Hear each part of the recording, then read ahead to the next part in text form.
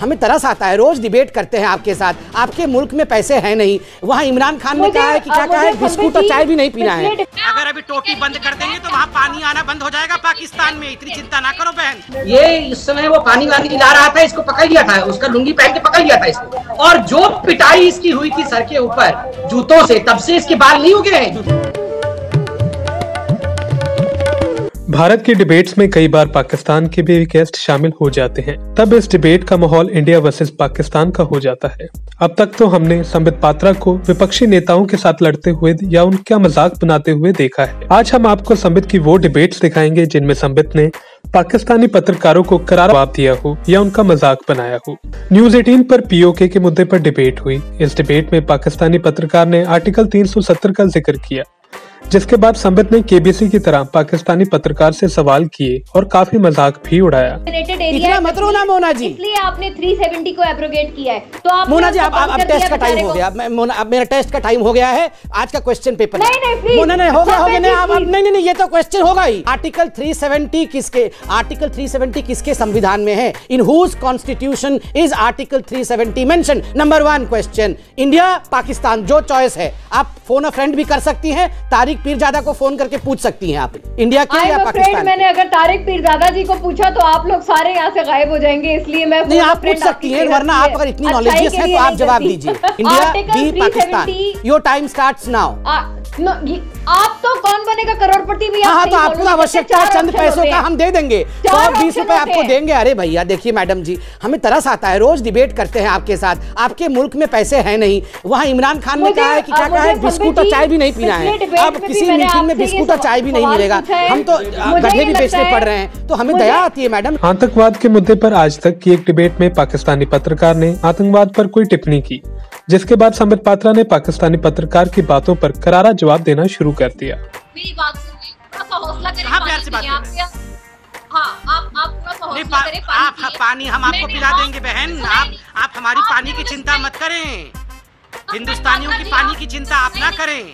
अगर अभी टोटी बंद कर देंगे तो वहाँ पानी आना बंद हो जाएगा। पाकिस्तान में इतनी चिंता ना करो बहन। वैसे देखिए आपका तो मैं बड़ा सम्मान करता हूँ। आप एकमात्र पाकिस्तान में वैसे चेहरे हैं जो कुछ लॉजिकली बात करता है। इसलिए मोना जी आज कम से कम लॉजिकली बात करिए मेरी ऐसे मत ना आप सच पता करते हैं। अभी आप आप ये जो अंजना जी का शो है ये आप जरा रिप्ले में देखिएगा ठीक है? मैंने ये नहीं कहा था कि तारिक पीरजादा प्यार से बात कर रहे हैं। मैंने ये कहा मैं अंजना जी के शो को तो बाद में रिप्ले में देखिएगा। पहले पाकिस्तान की करतूतों को रिप्ले में देखिए। पाकिस्तान के करतूतों को जरा रिप्ले करके देखिए पाकिस्तान कर क्या रहा है सत्तर सालों से। सत्तर सालों से खाली छुरा और खंजर भोंकने में लगा हुआ है पीठ में। सत्तर सालों से आतंकवादियों को भेजने में लगा हुआ है। सत्तर सालों से एलओसी पे किस प्रकार से इंफिल्ट्रेशन कराए उसी में लगा हुआ है।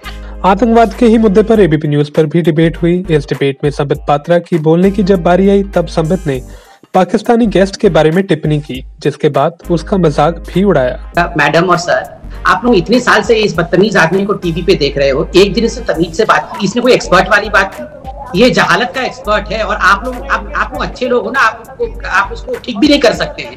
क्योंकि आप अच्छे भाषा का प्रयोग करेंगे इसको मैं ही ठीक करूँगा आप लोग प्लीज़ आप लोग प्लान प्लान करिए और जब युद्ध होगा भविष्य में तो आप लोग उसमें करिएगा। अभी मेरे पे छोड़ दीजिए मैं डील करूँगा बहरहाल मैं विषय पे आता हूँ। एक फ़ोटो है। एक फ़ोटो है, बहुत पुरानी फ़ोटो है, मैं डालूँगा आज ट्विटर में।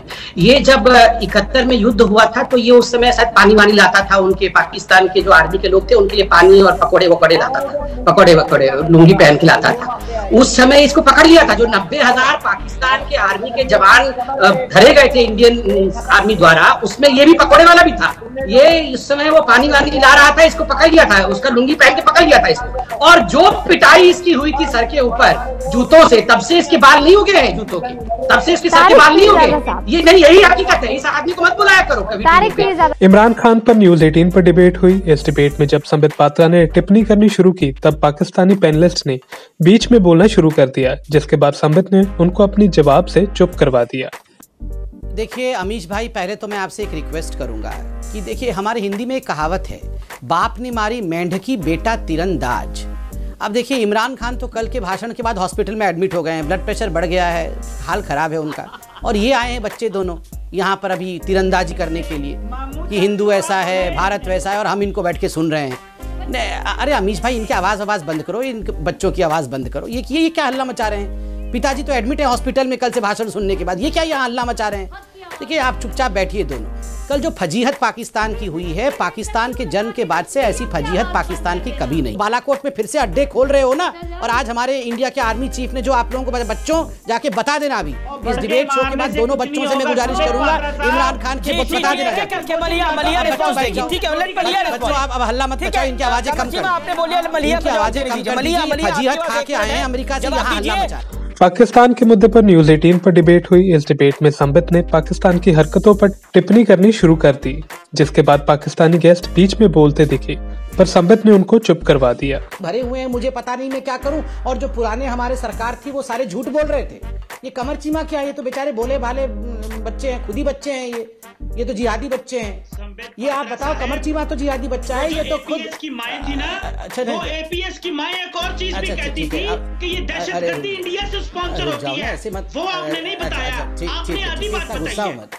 अरे बच्चे ब- ब- बच्चे जी ऐसे मत गुस्साते ऐसे नहीं गुस्साते बच्चे। चाचू जान देखो चाचू भाई ये तो छोड़ो। आपने ये भी तो हाँ, बताना था ना ठीक है कि वो जो माए बच्चे हैं वो जी कहती है जिहादी बच्चे हमारे ऐसा है, यादव का नेटवर्क है।